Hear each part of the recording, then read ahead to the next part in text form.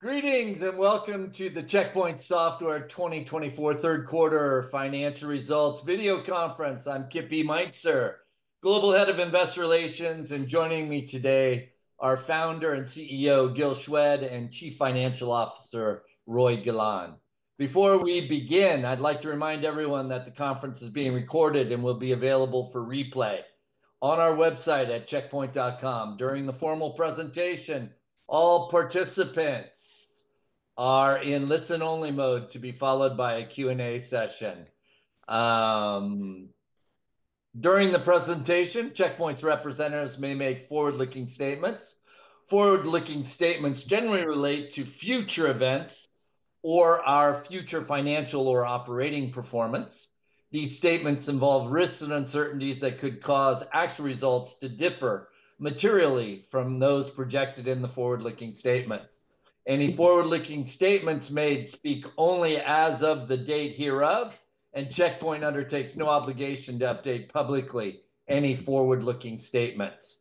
In our press release, which has been posted on our website, we present GAAP and non-GAAP results along with a reconciliation of such results, as well as reasons for our presentation of non-GAAP information. If you have any questions after the call, please feel free to contact Investor Relations by email at kip@checkpoint.com. Now, I'd like to turn the call over to Roei Golan. Thank you, Kip, and thank you, everyone, for joining the call. One moment, I'll uh, open the presentation. Can you see my?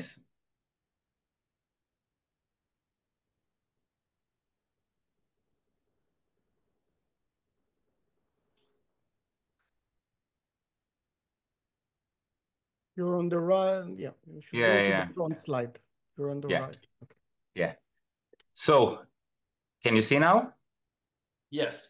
Okay, great. Thank you. Thank you. So, uh, so we had a very good quarter. Uh, we'll start with the revenues and uh, EPS. The third quarter, our revenues grew by 7% to $635 million, 3 million above the midpoint of our projections. Our non-GAAP EPS grew by 9% to $2.25, $0.01 above the midpoint of our projections. So, overall, very good uh, results. Uh, going into further into our revenues and our uh, business, so as I mentioned, the revenues grew by 7%. Our subscription revenue grew by 12% to $277 million. The calculated billing reached $562 million, which represents 6% growth year-over-year, while our current calculated billings grew by 5% to uh, $563 million. Uh, the calculated billings this quarter was affected by several deals that were pushed from Q3 to Q4 that we expected them to close by uh, by September 30th. Were pushed to Q4, mainly in Europe, and we do expect that this will provide us a benefit of approximately three points to the billing in Q4. Some of them were already closed in October, and the majority will be closed before end of the year. So, that's, I think, important to mention regarding our billings. Uh, as for the revenues, so revenues, as I mentioned, grew by 7%. That was driven mainly by product and subscription revenues that grew to $396 million. Uh, that's mainly driven from strong demand for our Infinity Consolidated Platform, uh, our Harmony Email that keep doing have this strong demand. Um, and we did see also demand, and we see the product revenue grew by 4%. So, we see an increase also in the demand for our appliances. Eh, I mentioned the Infinity. So, Infinity had another great quarter. It continued to flow in accelerated way to the revenues. Another quarter with strong double-digit growth year-over-year, becoming more and more significant eh, to our total revenues, eh, which now is approximately 15% of our total revenues.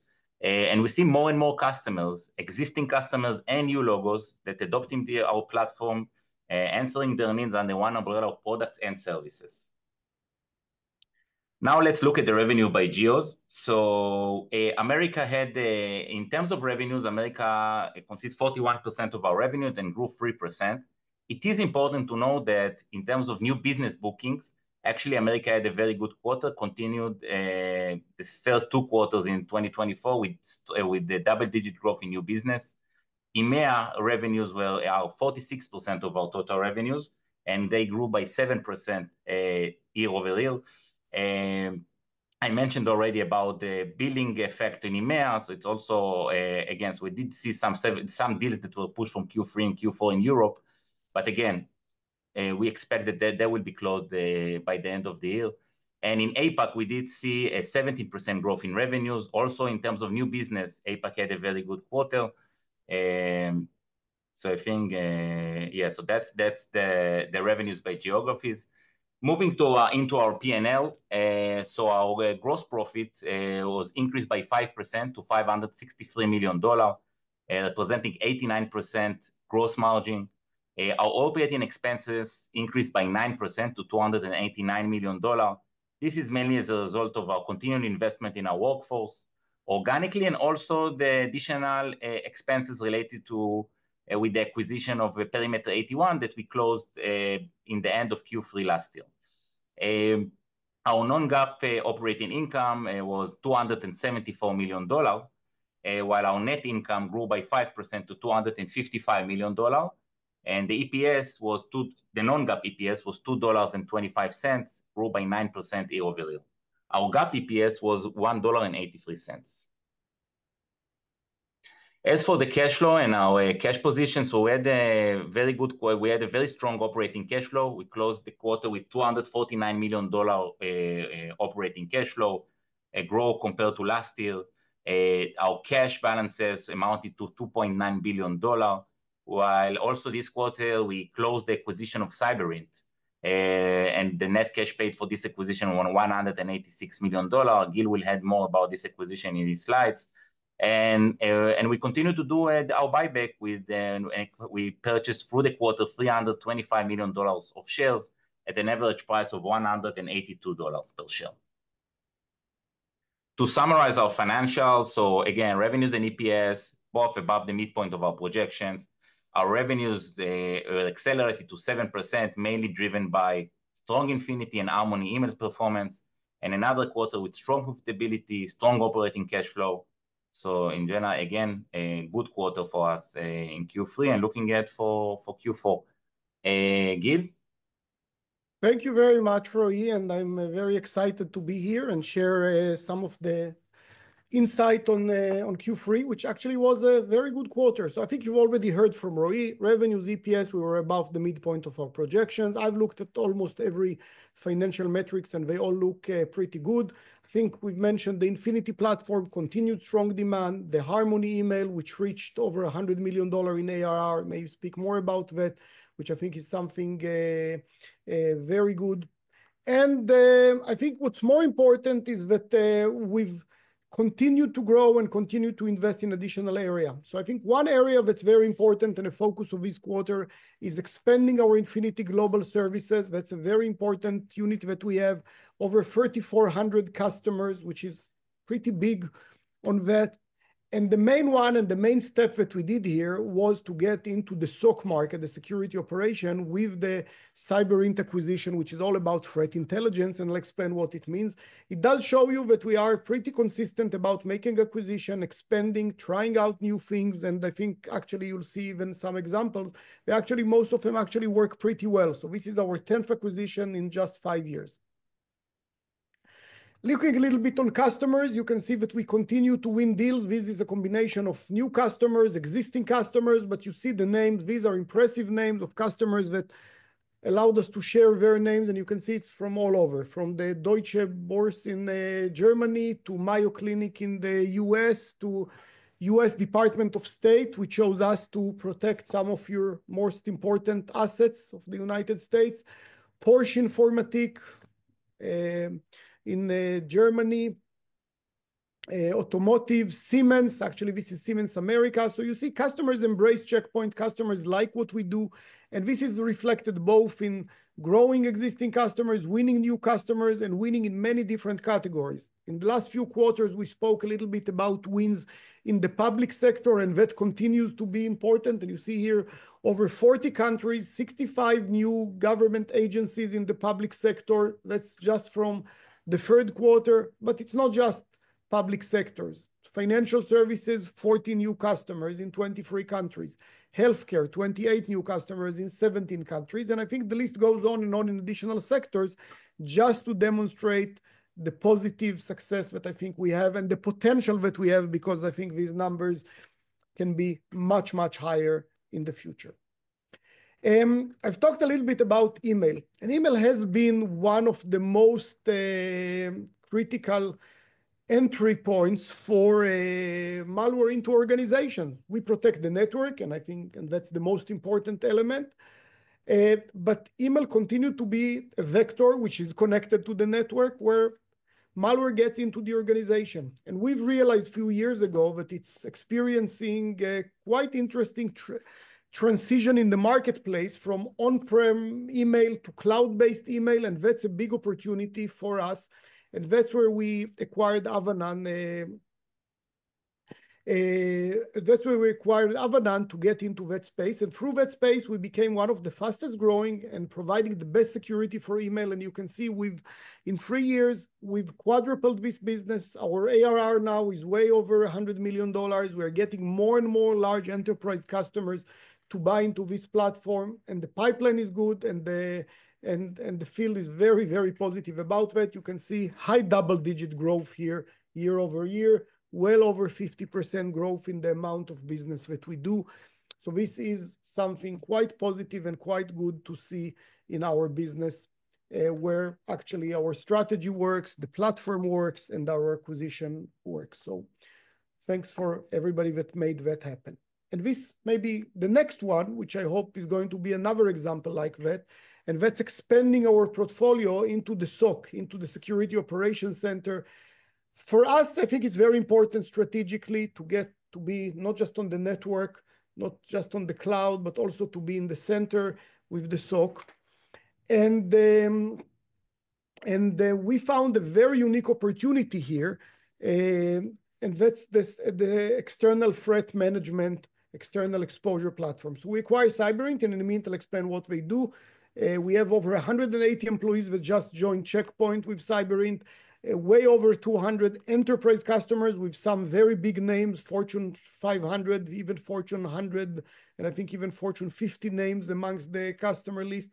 A fast-growing company, still relatively small, but I think very promising. So what we actually do, Cyberint scans the organization assets. It can be web servers that are all over the internet, not just the main network. It can be the main network from the company. And it's mainly many, many other assets that we don't see, like what people write about us in the dark web, what people write us on the not dark web, on the open web. And there there are amazing things you can find. For example, employees that lost their credentials. So somebody has an information how to get into our company because some employee forgot their username and password. There can be many, many different resources like that, hidden certificates, eh, cloud keys, a lot of things that get kind of, I would call them lost. It's not all lost. Sometimes they are being stolen. Sometimes they are being manipulated because they were stolen from third parties, not from our employees, but from third parties. And they find themselves into the dark web, and people can use them to attack us. So what Cyberint does is constantly scan our assets, our open web, and the dark web, find these kinds of vulnerabilities, checks them out, and gives us the real-time report of this is the things you need to close. Now, all of that is an interesting market sector. Less what Check Point does because we always say that we are about the best security and we are prevention, not about reports. And that's what we want to create together with the Cyberint acquisition, turning it into actual prevention. So when we see that an employee credentials were compromised, if it's really were compromised credentials, we can lock down the accounts. If we see maybe a server on the internet that's um, Um, actually imitating our company, that's, by the way, another asset that Cyberint finds, companies that copy a company website and use that to trick their employees. We have the ways to do takedowns. That's a very impressive operation that sometimes within minutes can do a takedown of a malicious asset like that or impersonating asset like that. Uh, we can, in the future, if we want to be able to turn on network security capabilities and many other capabilities to move that from here is a report and here is more work for you, Mr. CISO, to actually the opposite. Here is a report and here is the 50 things we did for you in the last day, in the last week, in the last month to close vulnerabilities, real vulnerabilities, not just potential vulnerabilities. And I believe that's a play on triple different things. It's a play on managed services. It's a play on the SOC. It's a play working with the CISO. And it's a play mainly for the platform and the collaborative security, how we demonstrate, how we take different elements of the cybersecurity space and show that they can actually work together and generate more value. So I'm very excited about that acquisition. We completed it, I think, on the last uh, few days of the quarter. So it didn't have much financial impact on last quarter, but hopefully in the next few years, it will have a bigger and bigger impact. And hopefully we'll be here couple of years from now and we'll be able to show similar results to the ones that we had with email and the ones that we'll have on SASE and few other areas that I believe presents great addition to our platform and great growth potential for Check Point. So that's the Cyberint acquisition. And if I need to summarize, I think overall we had very solid quarter, very good quarter, revenues and EPS about the midpoint of our projection. Roei also mentioned that in the last few quarters, we are seeing, this is the internal indicators that I'm seeing, not just the revenues that you see outside, very positive indicators in the Americas, in the U.S., which is the most important market. So we are seeing some good signs there. Eh, Infinity delivers continued strength. Harmony Email exceeded the $100 million ARR, and we expanded our SOC offering and transforming security operation and threat intelligence through the Cyberint acquisition. So overall, I think that we had a very good quarter, very proud of what our team did, and even more excited about what the team can achieve moving forward. So thank you very much. And I think before we open the call for eh, questions, maybe a little bit about projections for the fourth quarter and for the full year. Um, so for the full year, we are actually not changing our guidance. We're well within the range that we published before. Maybe I'll start with the full year. That's a little bit more complicated, but let's start with the complicated. You see obviously that the range for the year has narrowed. The range for the year has went up. I mean, if we started the year from $2.475 billion-$2.625 billion in revenues, it's now on the right side of the center, and the midpoint is right side on where we started the year. So I'm very proud that this year, with all the things that we've done, with all the changes, with all the challenges that some of the market faced, uh, uh, we so far haven't faced uh, too much of that. We're not going to just finish at the midpoint, but finish above the midpoint. And that's true to our revenues, and that's true also to our uh, EPS. We started the year with a broad range for EPS from $8.70 to $9.30, and we are going to finish it between $9.05 to $9.15, well over the midpoint uh, that we started the year. And that actually you can calculate from that what's the range for the quarter. So the range for the quarter is going to be um, very consistent with our original plans. Uh, revenues $675 million-$715 million.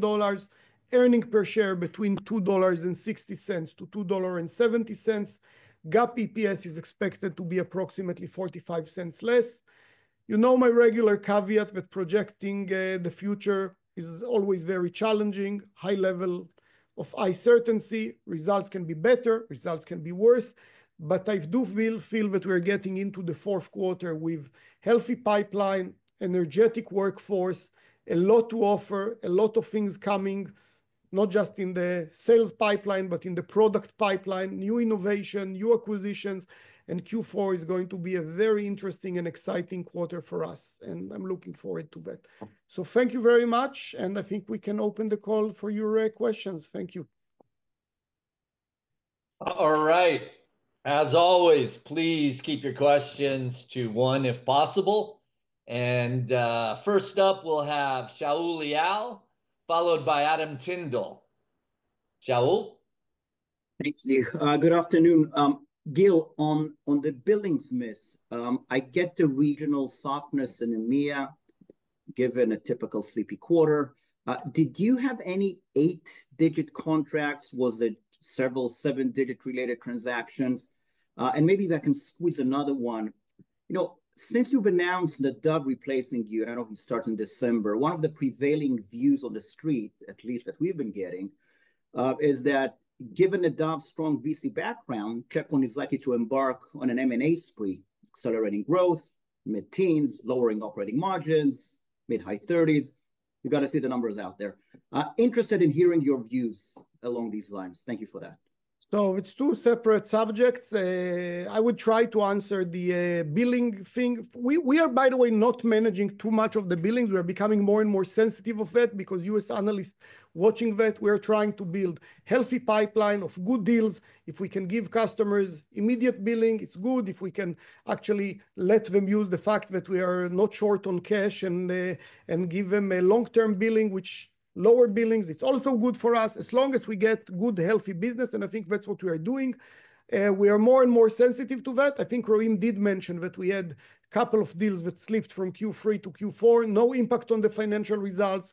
This is deals that didn't impact the revenues or didn't impact, didn't have much impact on the immediate results. It's actually deals that should have come forward, and some of them already arrived in the beginning of October. So I wouldn't look at it as anything. I hope it's not anything that's indicating for something we should be uh we should be uh aware of, and I think overall, I'm happy with the results.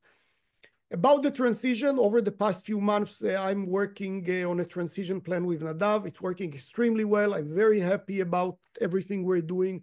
I'm very happy about the potential.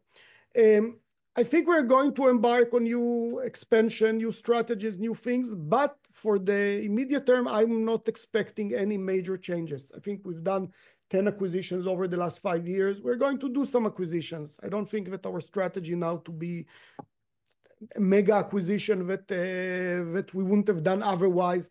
Um, I think we want to keep our uh, operational uh, discipline. And again, my focus was never on margin. My focus was always about how we generate good security, best security, healthy growth, profitable growth. I don't think that that agenda is changing.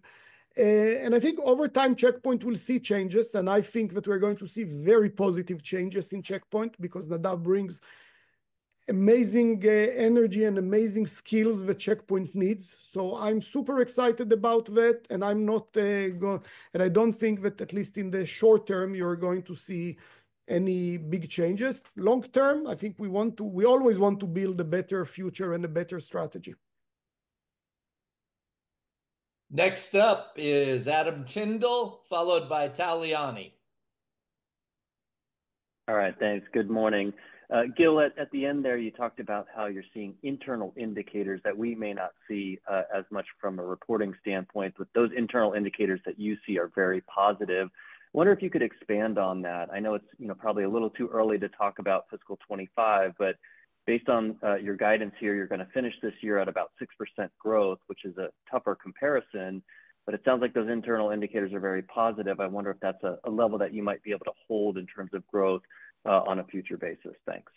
So most of the first, I think if we look at the industry, we read that we all know that cyber is needed. We all know that network security remain the centerpiece of security.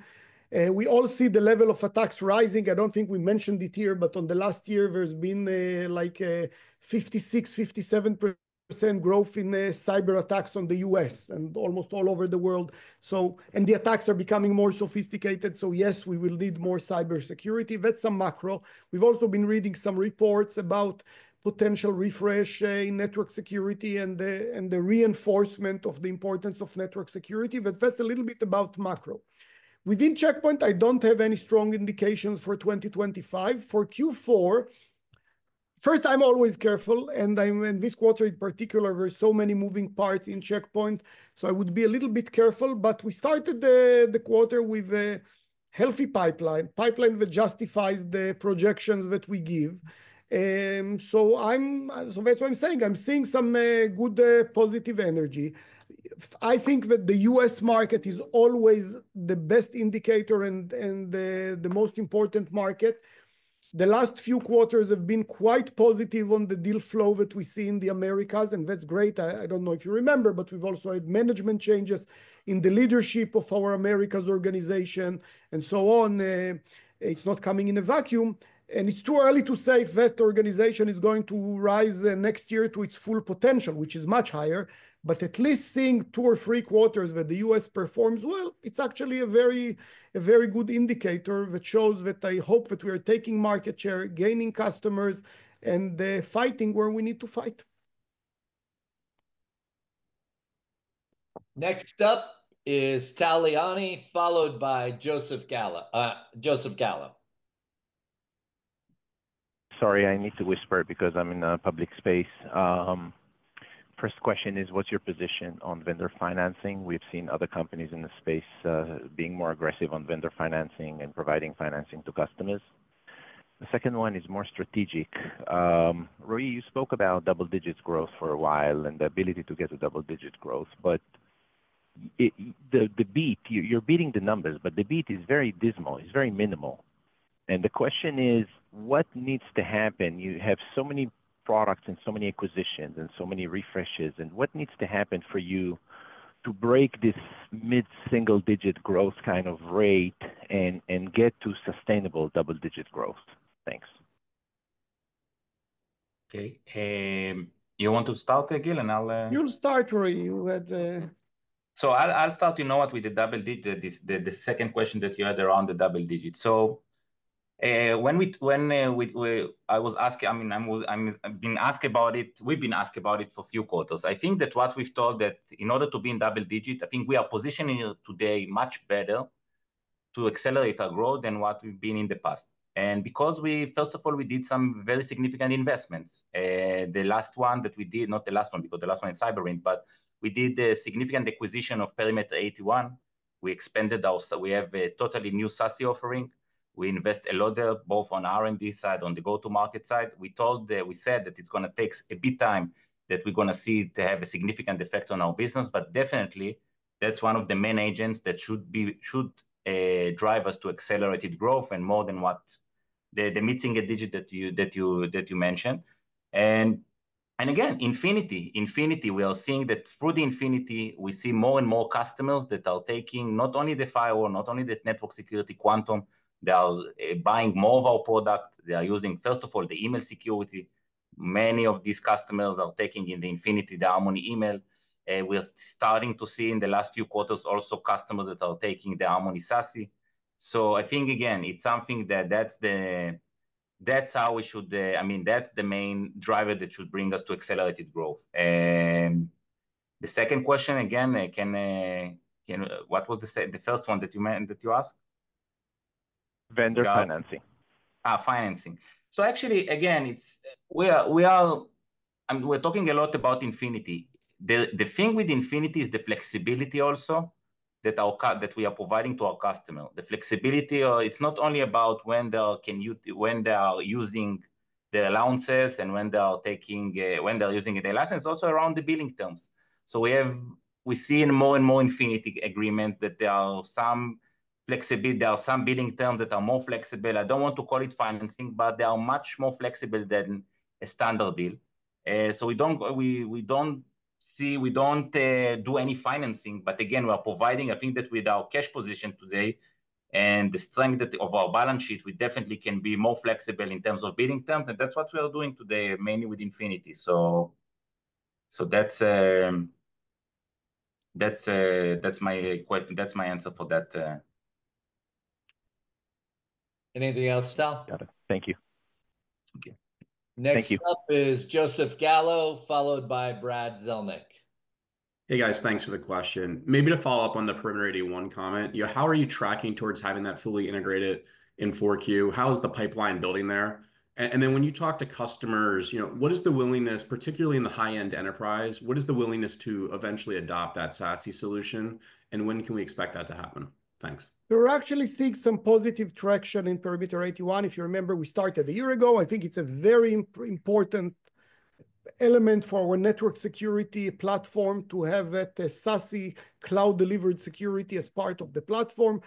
We started and we are selling it for the last year. Sales are going fine. And we started by integrating. So first, I think we are uh, doing fine on the integration timeline. Second, I think last quarter, we've seen some Q3, we've seen some nice jump in the amount of quarterly sales, and that's a very positive indicator. It's still small, so I'm not pointing it as, you know, the big thing or the big achievement. But, you know, when you have sales growing in a few percent every quarter and then a double-digit growth, I'm talking sequentially, it's a very positive change in the trend, which means that it's picking up. And for Q4, we have few seven-deal digits on that SASE platform and other ways to connect to us. So overall, there's all the reasons to be optimistic about that, and uh, hopefully we'll be able to even accelerate some of the things we are doing. But, you know, that's my job as CEO, is to ask everybody to accelerate. Their job is to do the best possible uh, that they can, and I think we're doing a good job there. Thank you. All right, next up is Brad Zelnick, followed by Rob Owens. Great. Thanks so much for taking my questions. Maybe just to start with you, Gil, it's good to hear that you expect next quarter to see three points of benefit to billings growth, which comes from deals that slipped out of the quarter. I think it's more like five points of growth if they hadn't slipped from Q3. But naturally, deals slip every quarter. Is there anything specific to Check Point, the environment, or competitively that explains for these these deals slipping when you think uh, about and do your root cause analysis? And maybe for Roei, we continue to hear the success that you're having with Infinity contracts and recurring revenue products like Harmony and CloudGuard. As these continue to contribute more to the mix, and what sounds like even exceeding your own internal expectations, what impact is that having on the model, and how should we think about that going forward? Thank you. So I think overall, we had a pretty positive uh, quarter. I've I've looked very in-depth to analyze the quarter, and we had many regions in the world when we had some very good results, and we have few few regions in the world where we had some softness. Um, again, I'm talking about two and three levels beyond the big geos, even within geographies. In Americas, there are some areas that did extremely well, but there were some areas that were a little soft. Overall, Americas, US was excellent for us last quarter, for example. Again, I'm talking about the internal indicators. Uh, so it's a similar case in other territories. I think Europe in Q3 is always a challenge. On one hand, we do get business, business continues, but on the other hand, it's very hard to change things and uh, and solve bottlenecks in Europe in the summertime when many people are on vacation. So I think in Europe, we've seen some some of that uh, softness. Um, Overall, as I said, I think we had a pretty decent results. When I look competitively, I think we're doing fine. We're, I think we're winning, we're seeing more. If I looked at the last few quarters, our growth in key indicators like uh, product and billings were were very good. So clearly, by the way, I'm talking all the time about cyber and cyber growth, and I think cyber is one of the healthiest sectors that we have. But we clearly seen in the last two or three quarters, weakness of some of our competitors. I hope that it's not a long-term reflection. I hope it's maybe result of other things, but I think that compared to that, we are actually gaining share in the core markets, and that's and that's a positive thing. Obviously, like every time, I would like to see more growth in the market overall and more growth for Check Point. As for your question, Brad, around the mix, uh, so we we definitely see that the Harmony, mainly the Harmony email, which gaining, I mean, growing very significant. We just disclosed that we exceeded the $100 million ARR, um, higher than $100 million ARR, and uh, definitely it's becoming more and more significant to subscription revenues. So this, together with the SASE that we expect that will be more significant for us, mainly from 2025, uh, after we're gonna complete the integration, I think that's definitely it should drive our growth and should drive the subscription revenues growth. Um, and I think that's that's uh, what we see, and uh, we hope to see to see the momentum with the email continues and with the other products, SASE uh, accelerating. Roei, I think he also was trying to inquire about timing with hardware around Infinity contracts and things along that lines. Ah, okay. So also it's something that is reflected in our guidance, I have to say. What uh, what's going on with Infinity today, that Infinity is becoming, I mentioned, 15% of our total revenues. In some some quarters, it's even uh, in the product, it can be even higher uh, in the product revenues. The thing with the product revenues related to Infinity, that in in standard deal, when we are selling appliances, so usually it's, you know, we're getting the order, and it's being delivered, the revenue is recognized really close to the when the deal is when the the order is received. In Infinity, they have the flexibility. They are buying allowance. They are not buying, they are buying, it's a kind of, they are, we are billing them for allowance, for example, for one year, and they have the flexibility whenever they want to to uh, to pull the to utilize the allowance, and and then only we can recognize revenues. So because the Infinity is becoming more and more significant to the product revenues, we have less in terms of when we are having orders that are being recognized immediately. So that's definitely that's it's easier to predict. But when we have orders that are full, that in the control of the customer when to utilize it, so there is some kind of volatility that can have around the, the product revenue and when it will be recognized, because we cannot recognize revenues from product when they are buying allowance, only allowance. We can recognize only when we deliver the product. Thank you so much, guys. Great to see you. All right. Next up is Rob Owens, followed by Roger Boyd. Thanks, Kip. Good afternoon, and uh, thank you for taking my question. Gil, in your prepared remarks, you did talk about new customer acquisition uh, across different verticals and geos. And I guess the, the question is, are you seeing an inflection relative to, to new customer acquisition? It's not something you guys have called out recently. And with those new customers, where are you landing um, with what products and, who are you displacing? Thanks. Um, it's a good question. I think it's uh, it's across the board. Obviously, most of the new customers are still network security customers, which is good because that's the core market and that's where we have the highest potential to uh, gain share. Uh, we do have email as a great entry point to win some new customers, and in many cases, we want to grow it into other products as well. Uh, there's a few other uh, examples. I think, uh, well, on the SASE side, there's also some area that we are winning some customers. So I think all of them exist. But having said all of that, and even looking at the model and saying, you know, we got this email business, it's great. We acquire a new customer, and then we can cross-sell it and upsell to it. That's great. Still, the vast majority, even of new customers, is our core network security customers, and that's, I think, a very positive thing. Rob, you're on mute. Great. Um, I guess the spirit of the question then, so where are you seeing displacement? Uh, who do you think you're taking share from in the core network security? Um, let's. I think we're taking share from all our competitors, but it's still, I think, in very small numbers that I don't think I don't want to brag about that. I think we can do in the future. We, I think, by the way, I'll give you an example. Some of the largest customers, they adopted uh, policies that says that they're working with dual vendors. And uh, for both security reasons, business reasons, and many other reasons, adopted a strategy when they are buying from two different vendors. Um, I think we're seeing in some of them that uh, new orders are coming to us. After a few years, they tried to balance it and maybe gave some more orders to competitors to kind of balance the account and have a competitor with a presence in the account. Now that they get to choose who gives them the best value, who gives them the best security, they are buying more and more Check Point. So I've seen few examples of customers that are good, loyal, long-term customers that haven't purchased new products from us for two or three years and suddenly buying again more from us and growing with us. So that's a positive thing.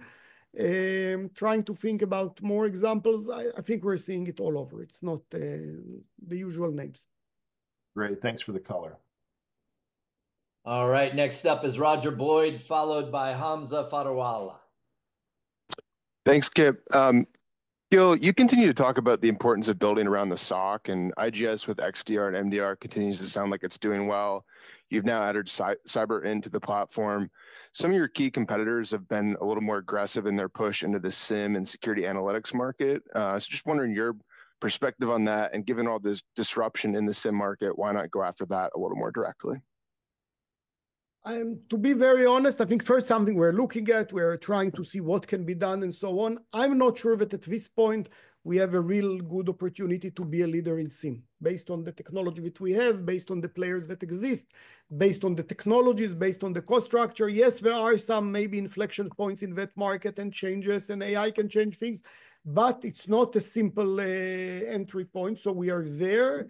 We are playing a little bit with that with XDR and a few other technologies but I'm not sure that that's the market we should grab right away. Of course, if we will find some breakthrough internally or externally, that can change. But at this point, I don't think that's our major growth. But again, I think the Cyberint one can be a very brilliant entry to the SOC with with kind of something that I think has a unique value proposition and can prove to be uh, to be valuable in a very short period of time.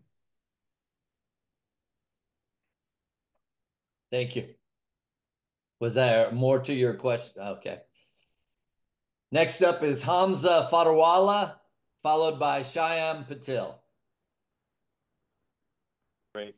Uh, good morning. Thank you for taking my question. Um, Gil, I had a question for you regarding just network security architectures in general. So, you know, network traffic has gone up by some measures, 20% plus Uh, since COVID. Um, you know, you launched new appliances earlier this year. We're seeing healthy growth again in the product revenue.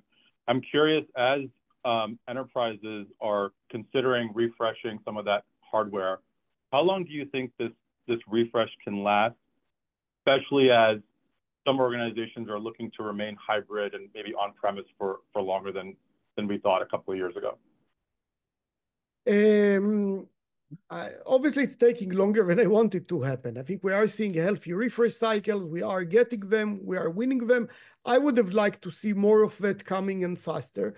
Um, and I think our new product line is definitely something that can show that. I mean, we have more uh, bandwidth, more capabilities, everything to accommodate that growth in network traffic. We have our clustering technologies and our uh, Maestro hyperscaling technologies. So I think we are very well positioned to win a bigger share of that and to do it faster. I think, as I mentioned before, as much as I'm optimistic about uh, our result, I'm positive about our results, uh, optimistic about the future, I think we we had a year that the year wasn't all green for everyone. Let's put it in a careful way Uh, this year so far. So the fact that we have growth in products and so on is actually a good indicator. In the ideal year, I would like to see much higher growth based on where we are. Thank you. All right. Next up is Shyam Patil, followed by Gabriela Borges. Hey, guys. Uh, good afternoon.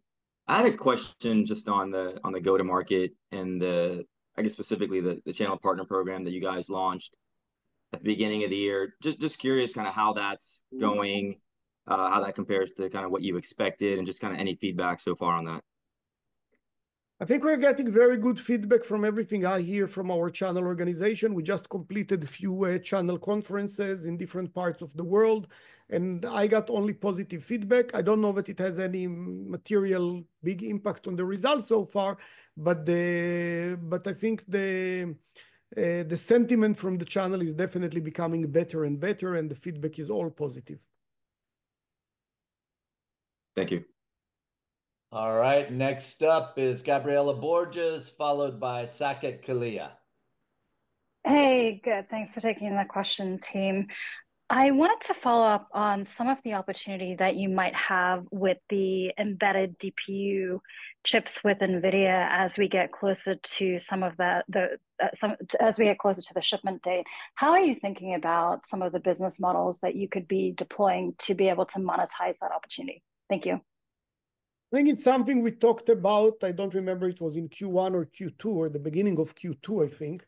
That's a huge opportunity to go and uh, secure the hyperscalers of AI and to be on the AI hardware infrastructure. It's in the very beginning of things. We've just uh, starting to build some uh, senior sales leadership to focus on that. We are working with NVIDIA and other AI hyperscalers to get uh to get that out. It's too early to say what impact will it have and how big is the potential, but I think it's a very unique value proposition that we have and something that the world will definitely need. Understood. Thank you. All right. Up next, Saket Kalia, followed by Joel P. Fishbein Jr. Okay, great. Hey, guys, thanks for for taking my question here. Roei, maybe maybe for you, um, you know, I think we talked about Infinity being about 15% of of total revenue, and that's clearly growing a lot faster than the overall. But I guess I'd love to talk about the other 85% a little bit. And and maybe longer term, as you think about this model in the future, Infinity is clearly going to become a bigger mix. But the question is, is that going to come at the expense of the other 85? Meaning, can the can the 15 and 85 both grow together, or can or does the 15, does from in an absolute dollar terms, does does that 85 need need to go down over time? Does that make sense? Yeah, so it's a good question. So I think definitely uh, it can grow together. It definitely can grow together. I can tell you that what we see with Infinity, that that Infinity is driving the growth. I mean, it's driving growth. So we see that more cust- that our customers that are adopting Infinity, we see more growth there than what we see that customers that are not adopting Infinity. It doesn't say that the customers that are in the other 85, uh, we don't see any growth. For example, we just mentioned Harmony Email. Harmony Email, of course, there is a portion that it's part of Infinity, but there is a portion that it's just sold standalone and it's growing very fast. Same thing with other products. So it's uh, so again, it can definitely grow alone. I think that our future will be Infinity. I mean, we we we seeing we we we think that in the end, this 15% will grow every quarter, that you're going to see more and more. You're going to see that Infinity would be more significant to our business every quarter. And Uh, I think that's the that's the future of, of and again, that's the platform. That's the future of Check Point That will drive the growth that we are looking for. I would maybe jump in and saying that when I measure the success of Infinity, there's two things. First, how many people move to the platform and deploy more technologies and get to commit to us for longer term. And then are they actually growing? Because converting an existing uh, contract with an Infinity to an Infinity contract, uh, when you get no growth, is not, it's good from a commitment technology, but it's not driving that. And overall, our Infinity customers are driving high growth. I think on the average, last time I've checked, it's not in the last quarter, Infinity customers were growing 20% faster than uh, non-Infinity customers. So if I took a group of customers, day one, and then two years later with Infinity, with existing contracts, they were kind of stable. With Infinity, they grew by 20%. And that's why we still think that moving customers to Infinity is good, not just from a technology standpoint, but also from from the value that we provide and the value that we get. Very helpful. Thanks, guys. All right, up is Joel P. Fishbein Jr., followed by John DiFucci. Uh, good morning. Um, just a quick question. At uh, um, CPX 24, um, you you really uh, spoke a lot about the CNAPP market. Um, how integral uh, how integral is CNAPP uh, to gain traction um, in this move to double-digit growth? And can you elaborate on where you think you are in that market? Thanks.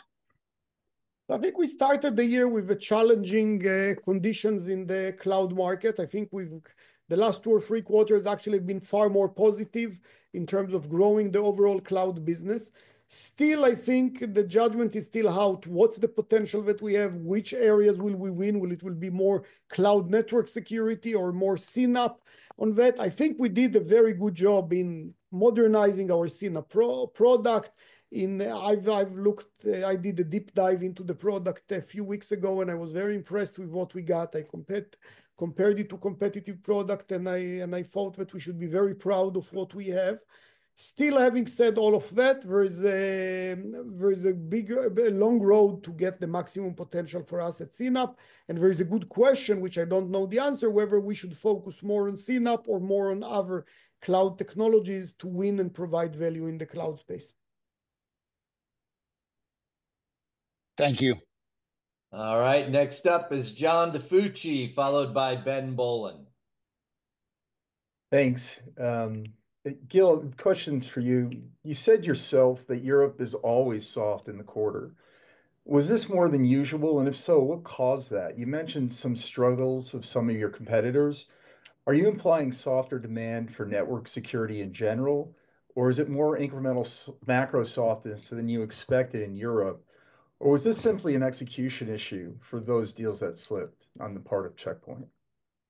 Frankly, I don't have the full answer, and I don't want to mislead. Last quarter, for example, even though Europe is usually weak in Q3, we won some giant deal in Europe, which made this a tough compare. I'm not using that as an excuse, and I didn't open with that because I think the fact that we have a large deal last year means that we should have had two this year and not uh, and not just repeat the same thing. But that's made it a little bit tougher uh, compare for Europe, for specific country from last year when we won a giant deal in the third quarter.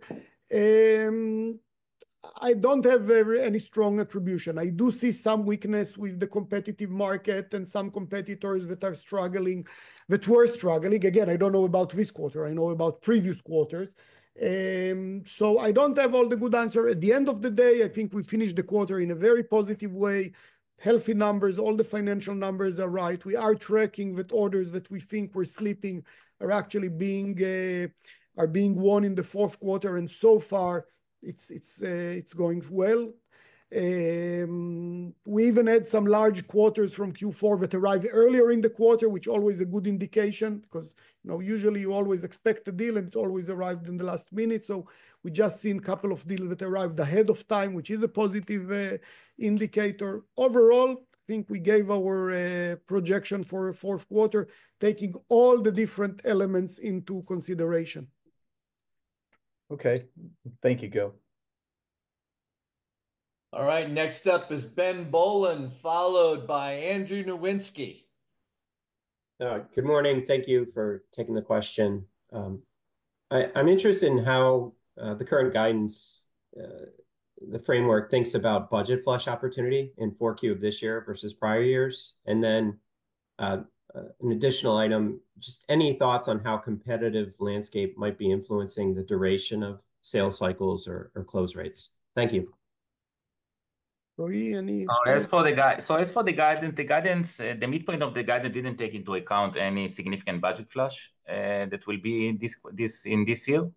Uh, remind you that two years ago, I think, it was, uh, we didn't see any budget flush. It was something that we didn't see in the past. A year ago, we did see a bit more budget flush than two years ago. This quarter, again, we do expect some budget flush, but not significant. It didn't take into account, we didn't take into account significant budget flush in our guidance.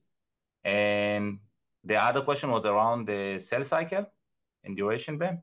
Yeah. How how competition, bundling, discounting might be influencing the length of the sales cycle and your thoughts on close rates. So we did when I'm looking on, it's something that we are monitoring all the time, the close rates. When we are looking on the close rates, we didn't see any any significant change in the close rates. I mean, in the end, this the close rates, I mean, I'm not talking about this specific deals that were slipped from, pushed from Q3, and part of them already closed in Q4. We're talking about in the close rate in the quarter, we didn't see any significant change. Um, the sales cycle, again, nothing uh, special that we've seen this quarter, that it's longer than in previous quarters. Again, it really depends on on on on the deal, on the customer. Of course, Infinity deal is something, some usually it's a mega, it's a multi-million-dollar deal, so it involves more approval, more approval. Approval approval cycle can take longer, but nothing that it's unique uh, that we've seen this quarter. Thank you. Next up is Andrew Nowinski, followed by Patrick Colville. Thank you. Uh, good afternoon. So I want to ask about um, billings again. So in Q2, you know, you had a few large deals, I think, pay up front, uh, which boosted your billings growth by 1.5 points. And a half. And then if you normalize this quarter, if you normalize the deals that pushed out, your growth actually would have accelerated, I think, from 8.5 to 11%. So I'm wondering, how do you think about the growth rate in Q4, the normalized growth rate, given the the positive trends we've seen from Q1 now to Q2 to Q3, a continued acceleration in your billings growth? So we don't provide any guide, you know, that we don't provide any guidance around billing. I can I can do I can say that based on what we're looking on the funnel, based on our eh, what we see also on the expectation around the billing. Again, the billing should expect it because of the benefit. First of all, we do see strong pipeline, not related even to the slip deals. We are seeing strong pipeline for Q4. Second, we do we do gonna have eh, expect to have a benefit eh, that what I mentioned about the slip deals from Q3. So I think we're gonna. Again, we don't provide any guidance, but uh, we definitely uh, expect and anticipate based on the funnel that we see today, and again, we need to be cautious because it's funnel. We do expect to have um, a strong quarter uh, in Q4. Thank you. All right. Our next up is Patrick Colville, followed by Gregg Moskowitz, who will probably be our last question of the day. All right. Thank you so much for having me on. Um, Roei. I guess I want to ask about the the guidance. Um, so, you know, nice to see the guidance raise at the midpoint. Um, I know you you know, Check Point don't guide line by line, but you know, should we expect, if everything goes to plan in 4Q, a sustained re-acceleration in the product line? And and then I guess just just a tactical question, in terms of the inorganic contribution from Cyberint in 4Q, can you just give us some kind of guideposts on that one? Yeah. So right now, as I mentioned, the product revenue, I mean, again, we don't disclose the separation between the product and the other line items in the revenues, but we do expect another good quarter on the product. We see a very very good pipeline for the appliances, for demand and appliances. I have to say that significant portion of this pipeline for the product is coming from Infinity deals. So there is some kind of, I don't want to call it a risk, but there is some kind of a situation that it won't be recognized this quarter. It will be recognized eh, in 2025. So there is, so therefore, we are providing a guide. So I think that the guidance is is wider in Q4 because it's significant. we have a significant product revenues usually in Q4. And with the Infinity, that's the main risk that we see today. Actually, winning the deals, but recognizing the revenues later. Revenues only in. Overall, for an mm-hmm. annuity business model, growth business model, it's good. But for the short term, we are transitioning more and more on the business model to deferring the revenues on that. Yes. And uh, Patrick, the second question that you had again? It was it, you know, congrats on the Cyberint acquisition, You know, a nice tool to bolster the portfolio. Can you give some guide rails around uh, if there's going to be any inorganic contribution in 4Q? Yeah. So so Cyberint, had we we bought Cyberint. They had uh, already a nice ARR that we acquired them. Again, we don't expect it to have a significant effect on Q4. I would say less than 1% of our total revenues in Q4. All right. Our last question of the day is going to come from Gregg Moskowitz. All right. Uh, thank you guys very much. Uh, two quick ones. Uh, first, I apologize if I missed it, but Roei, um, RPO, I know it grew 10% last quarter in Q2. Obviously, this quarter, you had some slip deals, so I'm sure that had an impact. But what was the RPO growth in Q3? And then secondly, a follow-up on Cyberint, since it did actually close just before the end of the Q3, are you able to clarify what that added to deferred revenue? Thank you. Yes. So first, around the RPO, RPO actually grew by 8% in Q3. Uh, uh, around the Cyberint, yes, there was no effect on the P&L side uh, on Cyberint because it was closing the last few days of the quarter.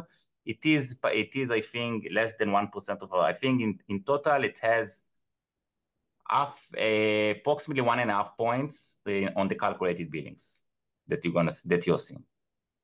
Thank you very much. All right, ladies and gentlemen, thank you for joining us today. I'm sure we'll be talking to you throughout the day and throughout the quarter. Uh, we'll look forward to seeing you guys at the year-end in January. Have a great day. Thank you very much, everyone.